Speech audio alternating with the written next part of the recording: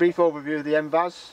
You've got the main LED driver boards, the speed selector, the Houston breakout board with the Bluetooth connection, the LED display modules and the Houston radar detecting the vehicles.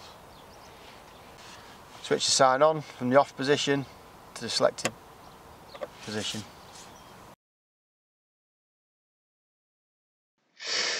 To connect to a MVAS via Bluetooth, go to Bluetooth settings, Bluetooth devices, add Bluetooth device,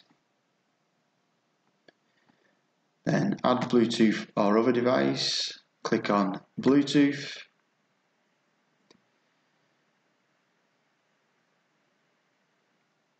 your device will come up HR, BT and numbers after that. Click on connect. Once your device is ready to glow, hit done.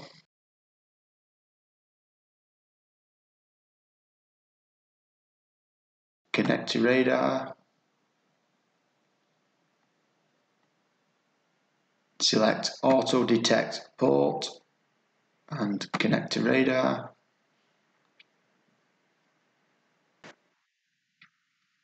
Radar found.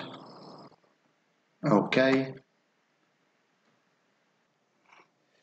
Read traffic stats from radar.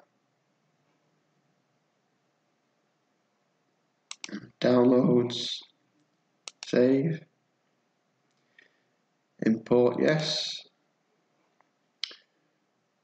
Drag the imported data across into your project and click on import. Import successful, OK. Open project. Click on today's date. Analyze, and here you can view all your vehicle counts 35 and you can do all your averages as per manual.